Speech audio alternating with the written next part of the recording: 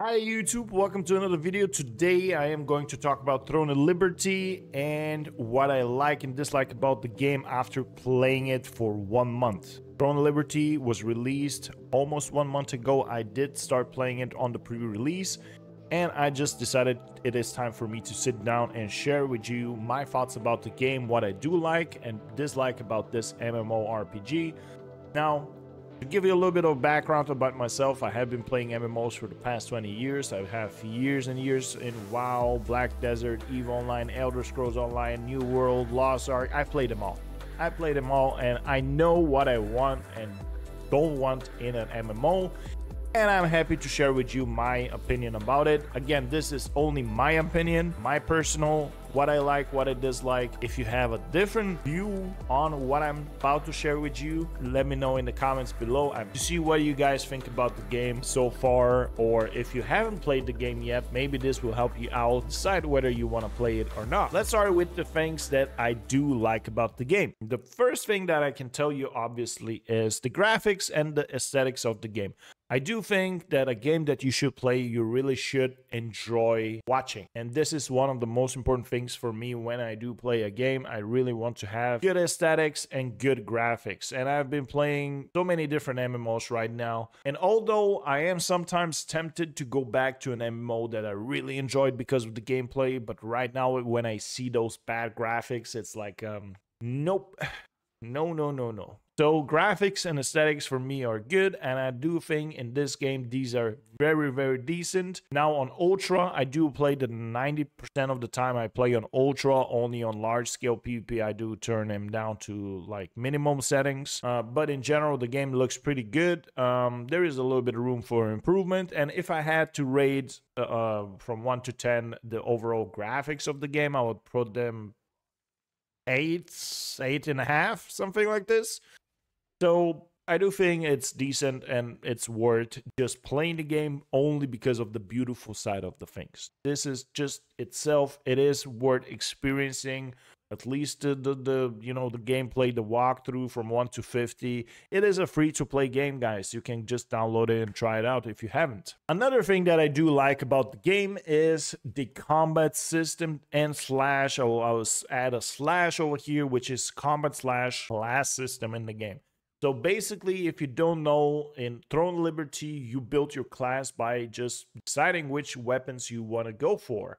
And in, in that sense, you create your class based on combinations. So you can go, for example, SNS Wand, which is going to be SNS Sword and Shield, which is your tank class already pre. And then you add the Wand, which is the healing item to the class and you build something like a paladin, something that is going to be a tank but with very heavy self health self sustain. At the same time, you can combine and, and go for a class something like a bow staff, uh, which I'm playing by the way, which is a range glass cannon uh, type of DPS type of class. And you can go so many different ways of you know approaching it. Now I need to add over here that there is a meta and there is a non-meta Meta is like a GS dagger. Um, then you have XBow XBow dagger, staff dagger, bow dagger. Basically, everything with dagger is uh, is pretty OP right now, specifically for PvP reasons. Um, but there's also non-meta folks. Some some some people you'll see SNS staff. You'll see uh, you know something not very on the on on the meta. So, uh, but people still enjoying the game and having a good time. I do like this about the game. I do like the fact that you you don't re-pick like specific classes. Your class is what you play. It gives you a little bit this type of, of feeling, like a little bit like uh, Final Fantasy, if I believe it is. Um, what I do like also about uh, when we're talking about the classes and and and the game itself is in general the skills and how you you pick the skills and you specialize them. You put talents on those skills. So basically, you have a little bit more room to play around with what your actual build is by deciding what is going to be your active skills and what is going to be your passive skills. And there is a lot of room to play around, although there are not that many skills. Now, if you compare that with previous and other MMOs, you'll see either in some cases less skills or more skills. Um, I do believe that it is, although a tab targeting system, um, it is well balanced out that you don't you're not overwhelmed with skills and you can decide which ones you want to really level up and invest in. Now, one of the things that I do like, and honestly, I think this is the one and only thing that actually kept me in this game engaged for the entire month, is the mid to large scale PvP.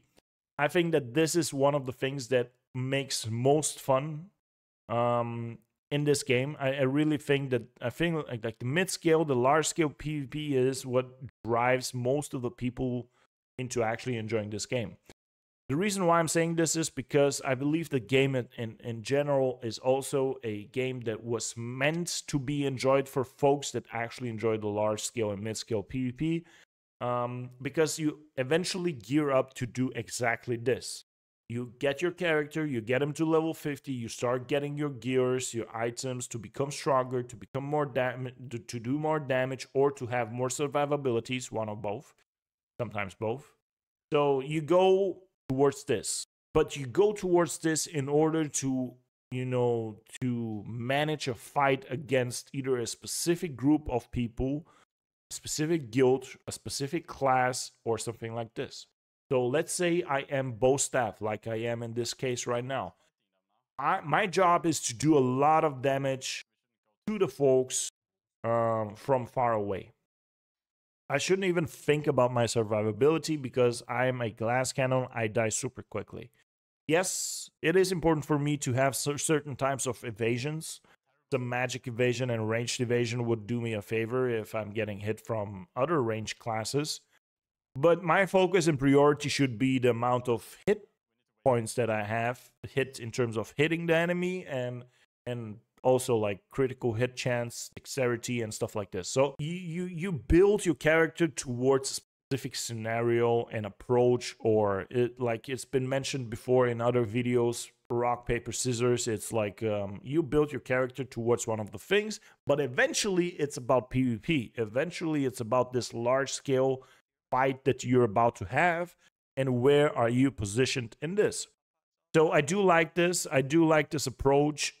However now let's talk about the downside about these things is that we're a little bit neglecting the pve side of things. Although we're we're building and building our characters towards pvp we're getting towards this with pve so like we do co-op dungeons we do open world uh, dungeons we do just like the majority of the content that you're doing throughout the day before you actually go and do the dynamic PvP events or do the rift stones and boonstones and all this other stuff is through PvE.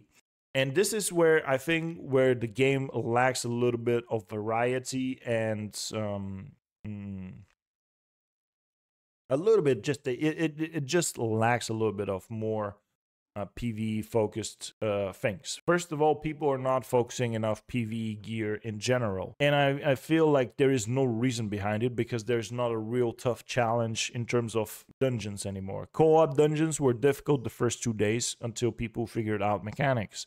Nobody is interested in gearing specifically towards running those dungeons instead of eight minutes, five minutes nobody cares about that. Everybody is focused on PV, PvP stuff, right? So the PvE stuff, not many people dedicatedly geared towards that, uh, and there is no real challenge, if I can say so. So I am lacking a little bit of more variety in dungeons. I'm lacking um, raids, if you will. I would love to have a bigger party of 10, 20, 15 people to do a raid, not a world boss. I'm talking about a raid. Uh, with multiple mechanics and stuff like this, with good, with good, you know, rewards in there. Um, so I would love to see a little bit more of this. I really hope it's coming. One more thing that I can tell you guys that I really uh, love about this about this game, and this is something that is gonna be a little bit different for most of you folks and it's the guilds. It has been an MMO that uh, straight up uh, got me involved into being part of a guild. I met my guild super randomly. It was literally one of the guilds that just popped up in the guild finder when I just started the game, like literally the first 15 20 minutes. I picked that guild, I jumped on Discord, and after that, we get to meet each other. We got to talk each, to each other every single day. We made new friends. Um, you get to know new people. You all are fighting for the same, uh, you know, cause. You're looking to become a more bigger, stronger guild to compete with other guilds. So if you get to enjoy of meeting a new community, a new guild, try to make this happen. I really encourage you to do it because this is also going to give you an additional motivation to drive and to actually uh, play this game a little bit more. Um, I do believe that this is one of the cool sides of this game. However, I also have to give you that this is one of the things that might give you um, you know you're not gonna satis- get any satisfaction from the game if you don't experience this. That's what i'm trying to say. The reason why i'm telling you this is because out of the one month um from out of the one month of me playing this game i was one week guiltless. The reason why i was guiltless is because i wanted we wanted we were growing so fast that I wanted to go and separate and make a second guild so that we can put that into an alliance and even grow bigger. But the point was, I was I was empty for a week. Uh, we didn't grow the second guild as as anticipated, and I didn't see so many people coming in. They were a little bit skeptical into joining a guild that is just was made as a second guild. Eh. So you know, I was I wasn't playing really like I was playing the week before I decided to leave our main guild to make a second one. So what made me realize this action made me realize that actually being part of a guild that actually pushes you a little bit to show up 8 p.m. for a dedicated, I don't know, raid or PvP event or whatever is actually really good. And it gives you an additional motivation to actually play the game and enjoy it. You get to talk to other people. Obviously, you'll get yourself involved into some guild drama that happens everywhere. But the point is, it is an MMO. And as an MMO, we're it is better to enjoy it in a guild. So my advice here is if you want to play the game, really try to look for in a guild that you will fit well.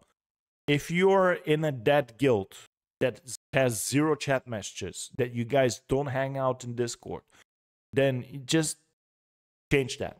Change that and you love the game, trust me. I, I like this is this is like what will drive you and will keep you going.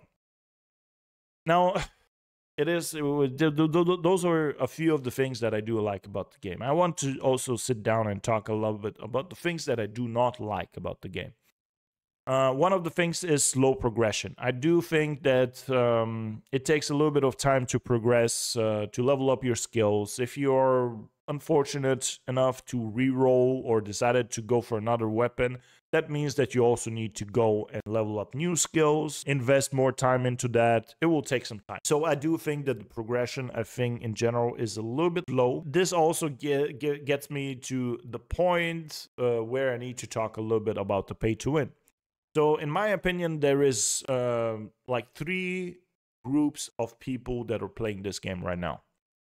Group number one is the people that are kind of free to play, but also jobless, either people in school, college, or they just don't have any occupation. They, they just just play the game 24 7. There, trust me, there are folks like this. Those people don't invest much money in it, almost none, but they're also pretty geared up because they do play 20 hours a day and they you know do everything. And then there is the, there is the free to play players and then there's the pay to win players the whales the people that work a 9 to 5 that have a couple of businesses that run you know businesses make money but they also want to play the game and be strong. Well guess what? Ching they pay their way into endgame. How do they do that? Well they just buy the latest gear trade it full it max it bump it you know the drill. You know, they they swipe for a thousand, two thousand, three thousand dollars. For them, that's pocket money, and they're fully geared. They don't bother. They don't play, but they they own you in PvP. Well, the, the, the, there will be these folks as well. And my issue with this is my issue is not with well, first of all, some of the people, some the, the people that are free to play and no life and uh, yo touch some grass, you just don't play that much. And the people that swipe too much don't swipe that much. my point is it is difficult to be the person that is in the middle. It is difficult to be somebody that don't have enough time to play, but also don't want to spend enough money in it to be able to be on top of your item power and be super strong and you know viable.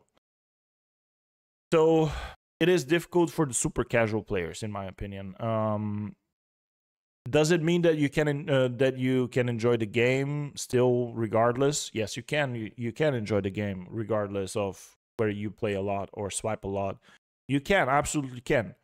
Will you really experience the game as it is in the end game with the large scale PvP stuff going on with the conquering of zones, rift stones, and all those things? Most likely not. But there is an option for you to still play the game because it's a free to play game and you still get to experience. Another thing that I'm lacking personally is since I since we are incentivized to do and gear up and go towards PvP, I would love to see more PvP modes and I would love to see a battleground.